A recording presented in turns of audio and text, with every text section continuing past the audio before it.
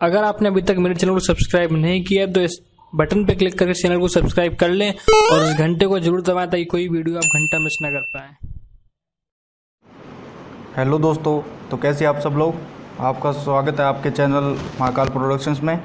और आप सब लोगों से एक वीडियो चालू करने से पहले एक रिक्वेस्ट करना चाहूँगा कि चैनल को ज़रूर सब्सक्राइब करें और बेल का आइकॉन ज़रूर दबाएँ ताकि आने वाली कोई भी वीडियो का आपको नोटिफिकेशन मिल सके। श्री गंगानगर के हिस्ट्री सीटर विनोद शोरान उर्फ़ जॉर्डन चौधरी हत्याकांड में पुलिस के हाथ नए सुराग लगे हैं और मर्डर से पहले रेकी करने में जॉर्डन के ही तीन पुराने दोस्त शामिल रहे।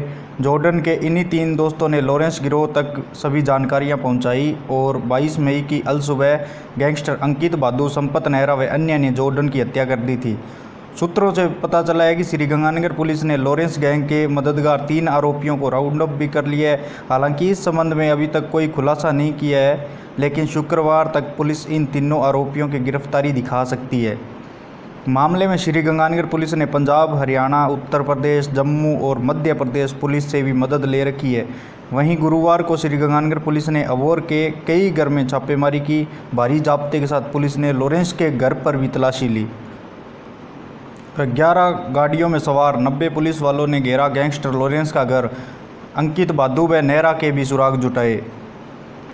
जॉर्डन के हत्यारों की तलाश में गुरुवार को श्रीगंगानगर पुलिस ने पंजाब की टीम के साथ पंजाब में छापेमारी की।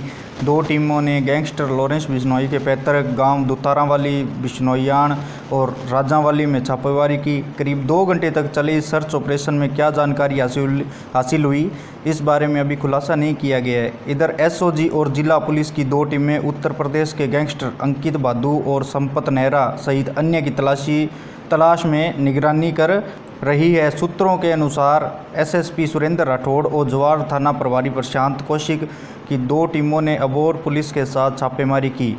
गुरुवार सुबह करीब आठ बजे ही टीमें लॉरेंस के पैतृक गाँव दुतारावाली में पहुँची। टीमों ने लॉरेंस के परिवार के घरों की सघन तलाशी ली और आरोपी अंकित बादू व संपत नेहरा के संबंध में जानकारी जुटाई। इधर एसओजी के एसएसपी के साथ जिला पुलिस की दो टीमें उत्तर प्रदेश में संदिग्धों के छुपे होने की संभावना को लेकर डेरा डेरा डाले हुए थी। टीमें गुरुवार सुबह ही वापस रवाना हुई है, जो शुक्रवार तक श्रीगंगानगर तक पहुंचेगी।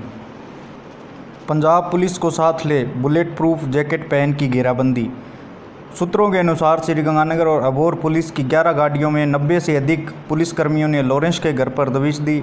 सभी पुलिसकर्मी हथियारों से लैस थे और बुलेट प्रूफ जैकेट्स पहने हुए थे।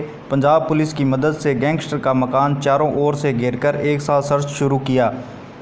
और परिवार के सदस्यों को मकान से बाहर निकालकर एक कमरे में बंद कर दिया गया। इसके बाद पूरे मकान की गहनता से तलाशी ली गई। पुलिस की छापेमारी की सूचना से गाँव के लोगों की भारी भीड़ मौके पर जुट गई। तमाशा देखने वाले लोग दूर से ही इस कार्रवाई को देखते रहे।